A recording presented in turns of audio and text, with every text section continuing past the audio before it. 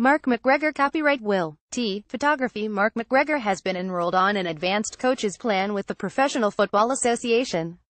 As part of this he will be spending time over the next 10 days with professional clubs in Holland. These include Excelsior, Rotterdam and Ajax with whom Marc will be developing himself with the both the first teams and their U23s squads.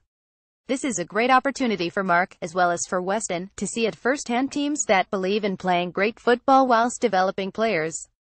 This will slightly impact his duties over the 10 days however both Rob Boyd and Ian Harris are stepping in to take the reins in Marc's absence. The board were aware of this great opportunity when they appointed him and fully back him in his development which can only benefit the club in the longer term.